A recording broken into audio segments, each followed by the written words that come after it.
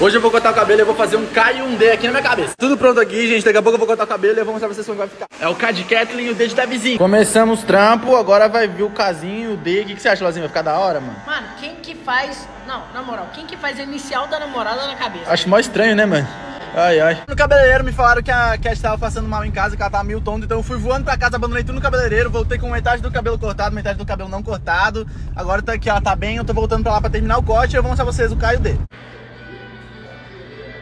Terminou, gente. Chegando agora no carro, eu já mostro pra vocês como é que ficou o Caio D aqui atrás. Cheguemos! O resultado, vou mostrar pra vocês como é que ficou. Ficou meio cortadinho, mas pelo menos ficou o Caio D. Eu tô muito feliz, espero que ela goste.